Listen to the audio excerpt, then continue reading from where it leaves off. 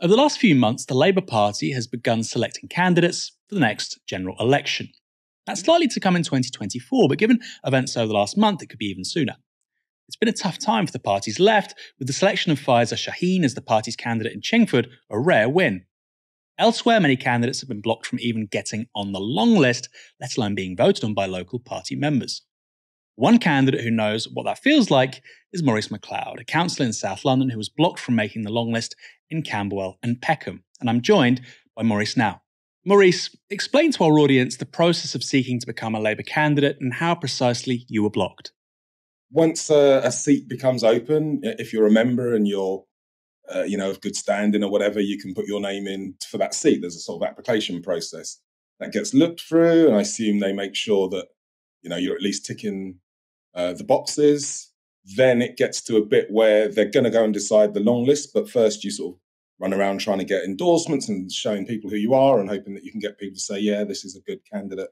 I happen to get um, uh, Unite and ASLEF and, and a sort of string of mainly left wing MPs, but also anti-racist sort of activists and journalists, and, and you know, had, had a good spread.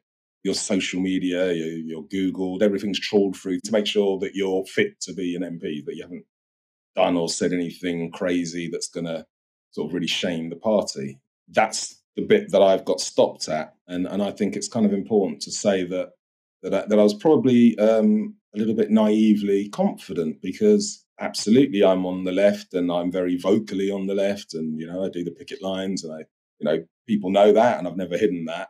I'm also um, you know a lifelong anti-racist campaigner and until a couple of weeks ago I was running one of the nation's national anti-racism charities in Race on the Agenda. I have been a journalist for 30 years. You know, I was political editor of The Voice nearly 30 years ago. Um, I um, been a councillor for two terms recently, uh, re-elected in Wandsworth.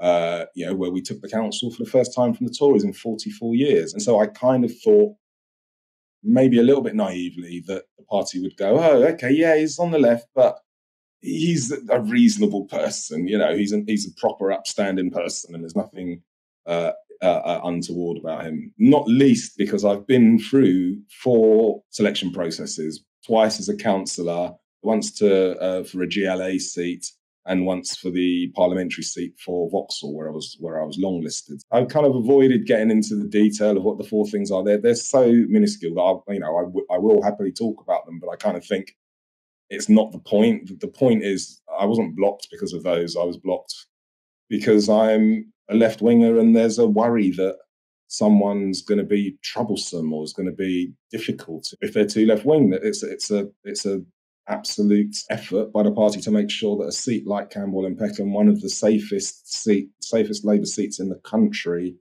with the biggest black populations, they want to make sure that that doesn't fall into the hands of someone who might, you know, get them to try and be a bit transformative.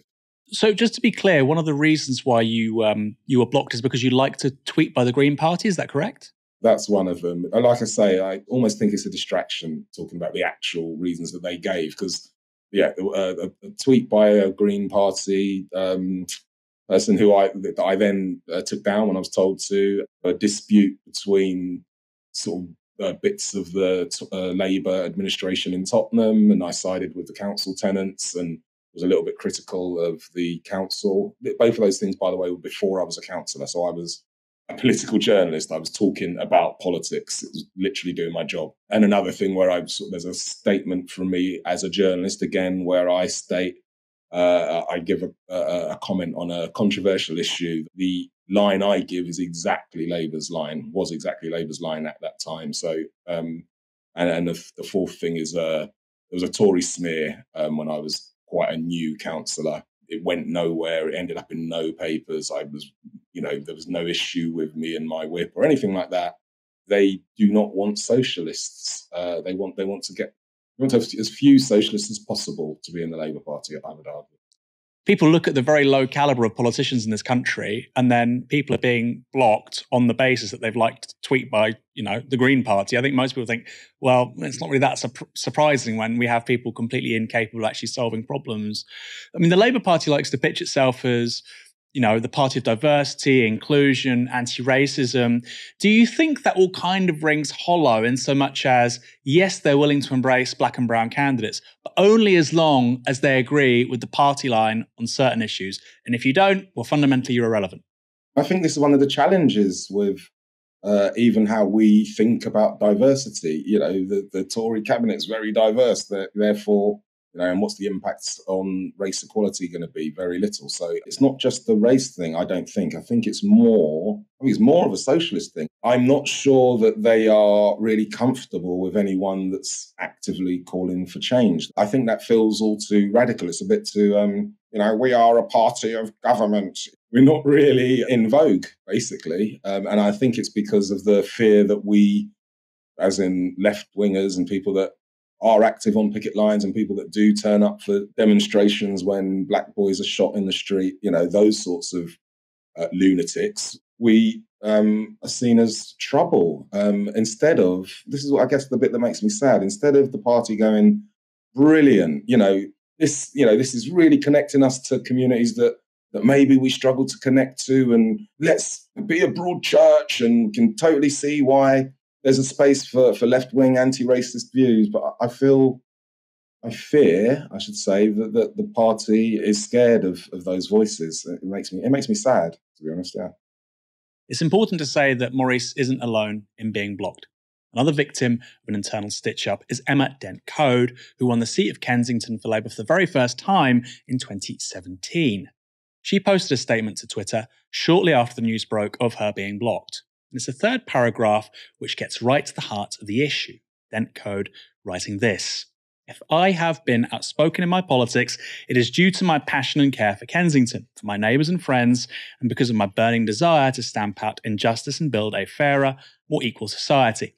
Upsettingly, unaccountable Labour officials have exploited this outspokenness to unjustly prevent me from standing for the seat I won just five years ago the seat I came agonizingly close to holding even in 2019, despite the trade union backing which should have seen me longlisted automatically. It is as plain as day that the candidate selection process now being run by the party is being factionally abused and is not fit for purpose. According to Labour List, the decision to block Dent Coad was made on the basis of, quote, concerns about her past social media activity, although precisely what activity isn't made clear. Rarely is. Given the low calibre of Britain's politicians, let's hope the media starts to care a little bit more about how Labour selects its candidates. Banning people for liking tweets is clearly absurd. No wonder we're in such an utter mess as a country.